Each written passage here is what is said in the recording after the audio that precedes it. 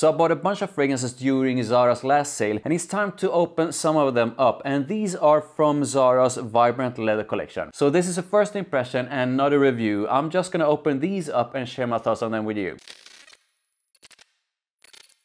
So let's start with this duo right here, which is the original Vibrant Leather and Vibrant Leather Bogoss. So the OG Vibrant Leather is very much a Creed Aventus inspired fragrance for super cheap. So I actually already have a bottle of the original Vibrant Leather, but in uh, true Zara fashion, which basically means that everything is upside down. This duo on sale was basically cheaper than one bottle of Bogoss, so I got them both. But I was actually thinking now that I have this sort of a newer bottle of Vibrant Leather, to compare this with my older bottle to see if there are any differences between them. So the original basically has three notes, bergamot, bamboo and leather.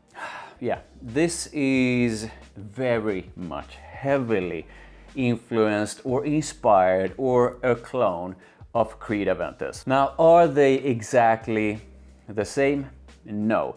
Is Vibrant Leather very similar to some of the other clones. For example, some of my favorites are MAF Club de Nuit Intense Man, like the EDP and limited edition. They are definitely in the same sort of area. They are basically doing the very same thing but they are not the same. Vibrant leather is definitely much softer and definitely a lot less sort of in your face than the Club de Nuit Intense Man. Vibrant leather sort of reminds me of Montblanc's Explorer but not as sort of a nuanced and layered. Drop a like on this video and let me know in the comments if you want me to do a comparison of Vibrant Leather and all the other Creed Aventus clones that I have. So yeah, I like it. This smells good. It's basically Creed Aventus for cheap. It's definitely not as good as Creed Aventus, but come on. So let's move on to Zara Vibrant Leather Bogoss, Bogoss, I don't know. Let me know in the comments if you know how to say Bogoss, Bogoss. Yeah, moving on, and I'm really excited about this one because this is supposed to be like a fruity fresh version of it. So the notes in Vibrant Leather Bogoss are lemon, pineapple and cedar. So let's see Bogoss, Bogoss, how this one smells like. Okay, this is interesting. Definitely freshness, smooth freshness, a bit of fruitiness. Yeah, smooth freshness for sure. And when I say smooth freshness, I mean that in the sense that the lemon in here doesn't come off as too in your face kind of fresh. Yeah, definitely fruity, sweet, and I think it's the pineapple coming through a bit more now that it sort of dries down a bit. And I don't think I have anything that is exactly this kind of combination of fruity, sweet and fresh. So yeah, based on this first impression, I definitely like it. Bogoss is definitely a nice sort of a fruity, sweet and fresh scent. It's currently not a love though, but I do think this is a nice one. Let me know in the comments what you think of Zara Vibrant Leather Bogoss and if you think I should do a review of it. Let's move on to Vibrant Leather Intense. Now, I'm not sure, but I believe they're supposed to be two versions of Vibrant Leather Intense. One that I think is discontinued and one I think is still around. One of them is supposed to be a lot more simple, at least note-wise.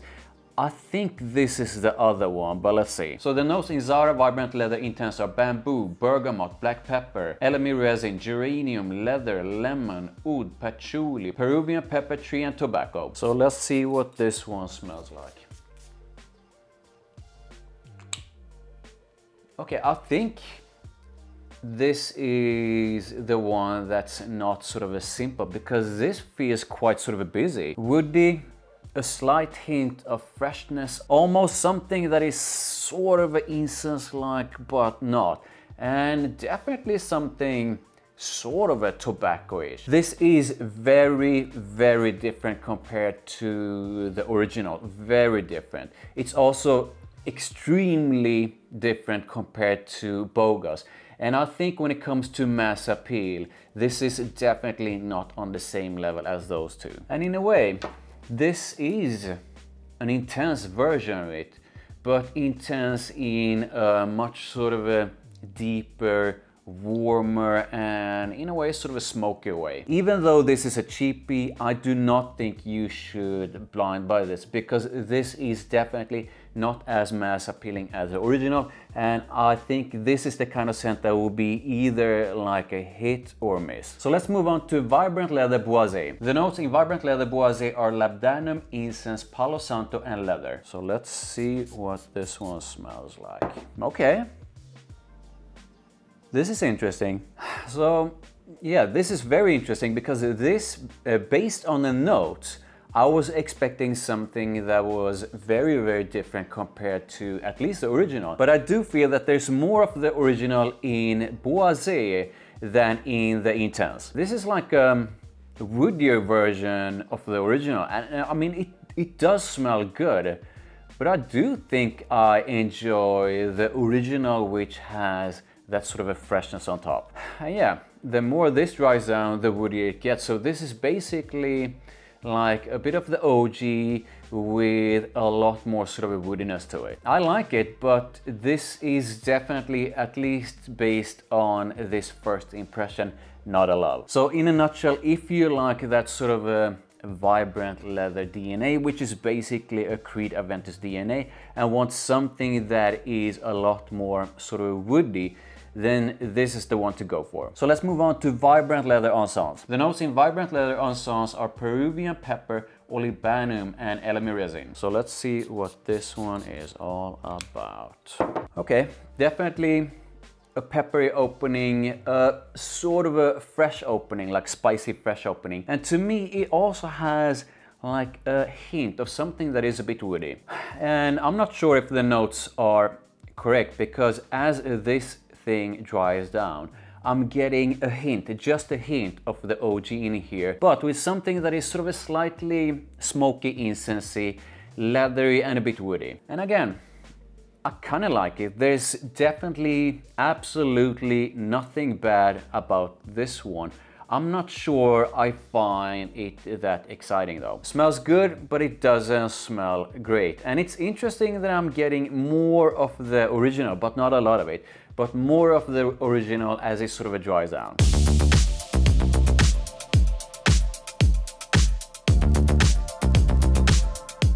So this was definitely interesting and having gone through the dry downs of these, I'm gonna rank them just based on this first impression. So let's start with my least favorite and I'm actually not sure which one to go for because the Encens feels a bit too sort of flat, at least to me. It lacks some personality. And the Intense being the definitely the richest and sort of the boldest of them all, now that it has dried down, it doesn't smell bad and there's something in it that I do like. But there's also something that to me is slightly sort of off-putting. So you see, it's a bit hard to choose because one lacks personality, the other one definitely has some, but in a way it's a bit off-putting so I'm just gonna put both of these on shared last place. On third place comes Zara Vibrant Leather Boisé and the more this dries down the more sort of incensey smoky it gets. I'm definitely not the biggest fan of incense heavy fragrances. Incense gotta be done the right way in order for me to enjoy it but this is not bad, but this is definitely not a love. So it really comes down to the original Vibrant Leather and Vibrant Leather Bogoss. Now Bo Bogoss, Bogoss is definitely a solid, fresh, fruity and sweet scent. And I don't think I have anything that is quite like this in my collection.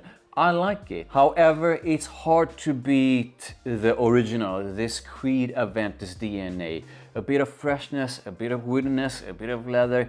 This just smells good. And while I do enjoy Bogoss, I don't think it's anywhere near as good as the OG. So yeah, this was a quick rundown and these two are my favorites and the OG, at least out of these, is the one I think is the best. Now, I would love to know how you feel about these. Have you tried any of them? Do you think they are bad? Do you think they are good? Comment.